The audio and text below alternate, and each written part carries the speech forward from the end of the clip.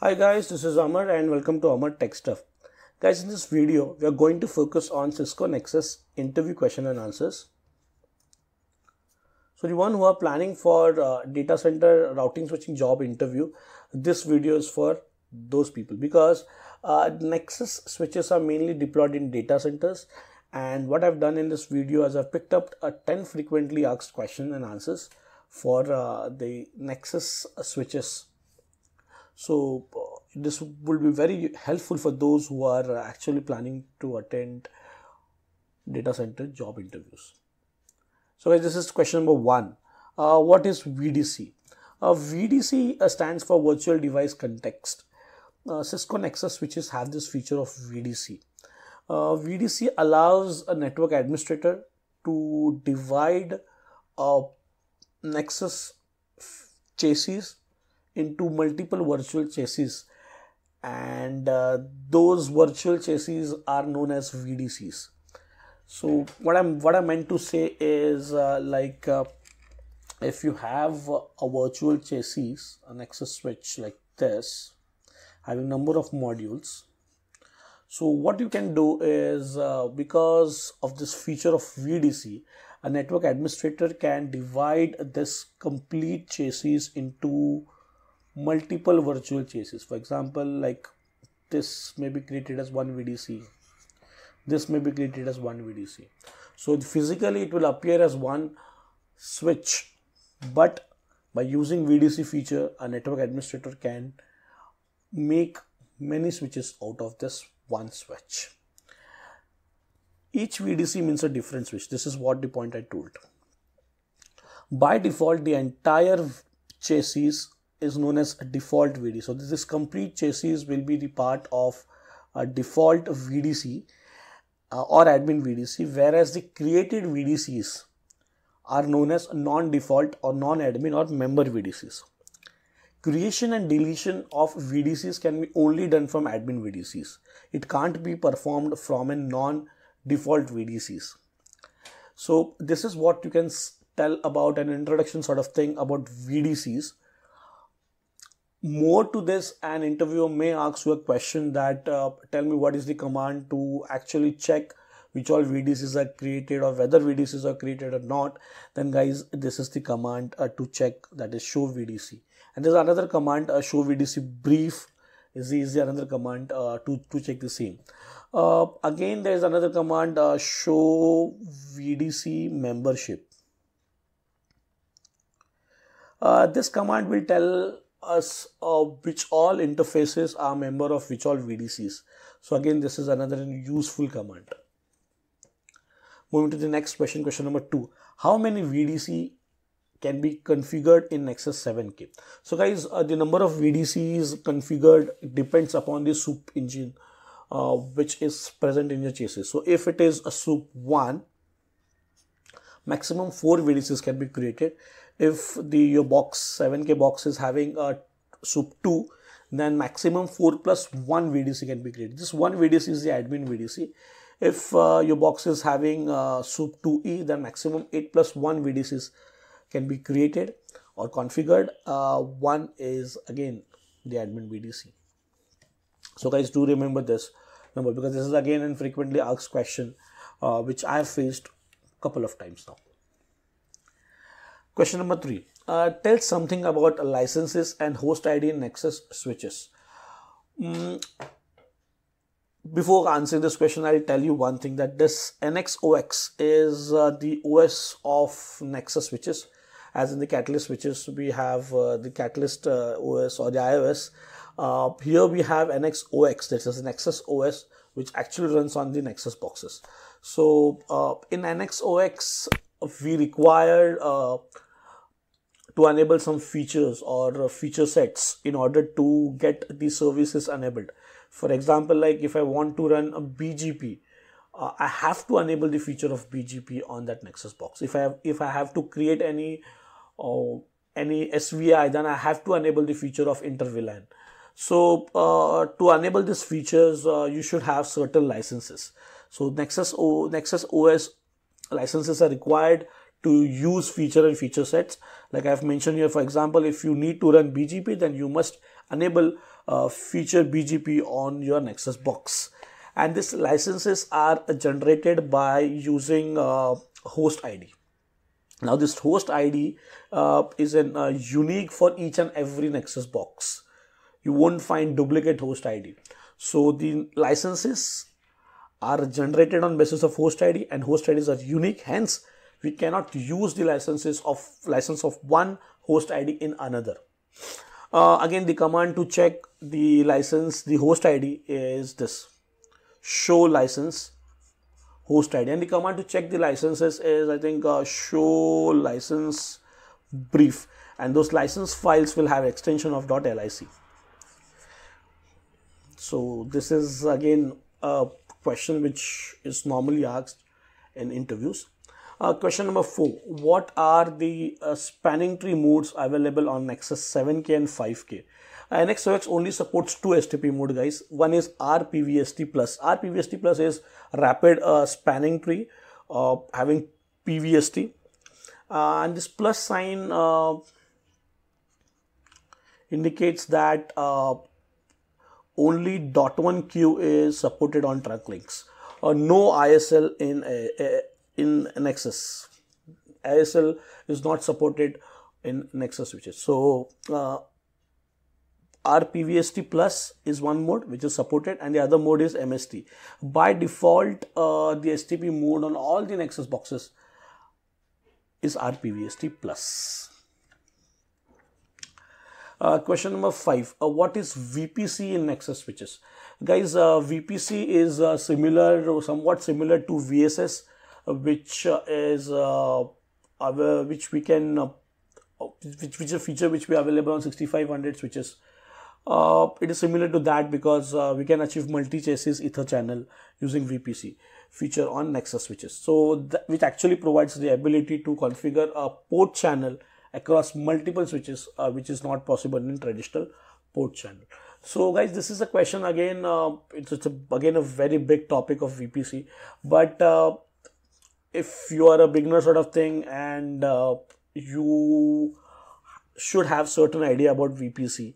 Uh, so uh, you can just go on telling this concept of VPC. Then you may uh, explain uh, this uh, or answer this question with help of a diagram if it is possible.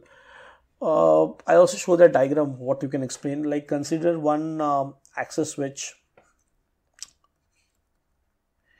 and these are the switch again access switches. Uh, and if you have the uplinks for these access switches consider this as a switch 1 and switch 2 so by using the traditional port channel uh, from this access switch point of view you can create a, a, port channel over here and a port channel over here. So two different port channels you can create and uh, you can use one at a time. But by using VPC, uh, what you can achieve is multi-chassis ether channel that you can bundle all these four ports in to a single port channel. This is what is multi-chassis ether channel. Question number six, uh, how to verify features enabled on Nexus switches. Again, this is this is, this is a very frequently asked question. Uh, the simple command uh, show feature or uh, there's other command you can use simply uh, show run pipe include feature. This will also tell you what are the features you have enabled or by default it is enabled some of the features. So this also give you the, the features which are enabled on the Nexus box.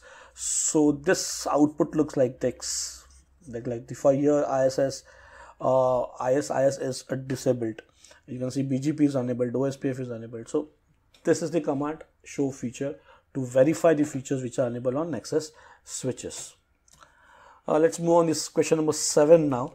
Uh, question number seven, uh, how to enable grace period for the license in Nexus devices. Guys, I just as I told in the previous question also that uh, Nexus devices do require licenses uh, so that you can enable the features or the feature sets on the Nexus box so uh, there's something called as grace period because this all these licenses have a certain certain period of time and once those gets expire or uh, expire you will need to uh, have a grace period if you're not upgrading the licenses.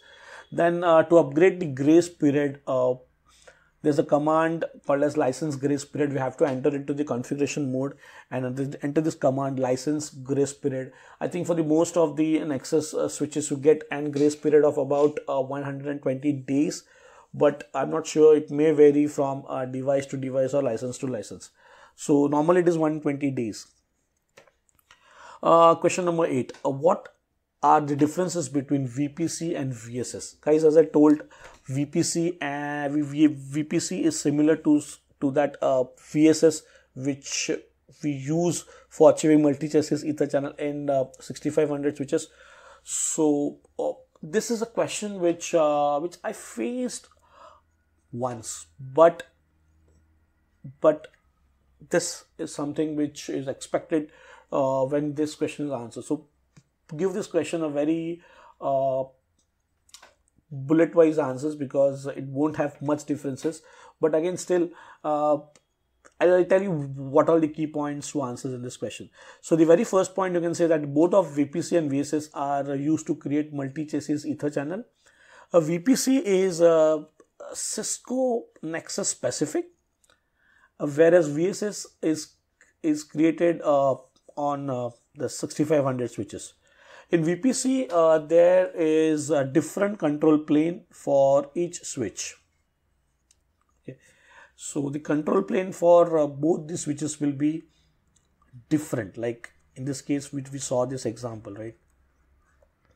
That we created a VPC over here. So the control plane for this device, this peer devices will be different. Whereas in VSS, the control plane for this peer devices will be the same.